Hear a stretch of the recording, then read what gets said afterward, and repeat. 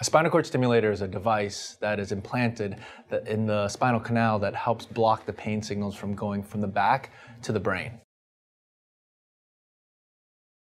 Patients that would benefit from spinal cord stimulation are those that have chronic pain that is usually in the arms, the back, or the legs.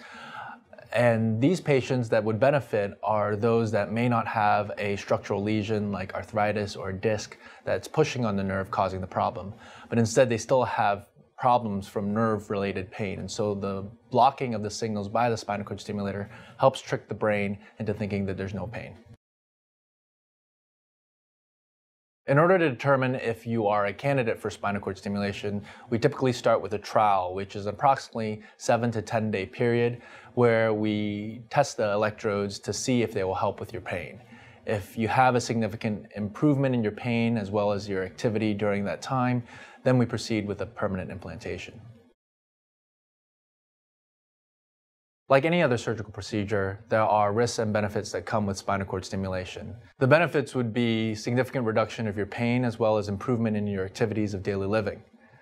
The risk would include bleeding and infection as really number one and two, but those risks are low.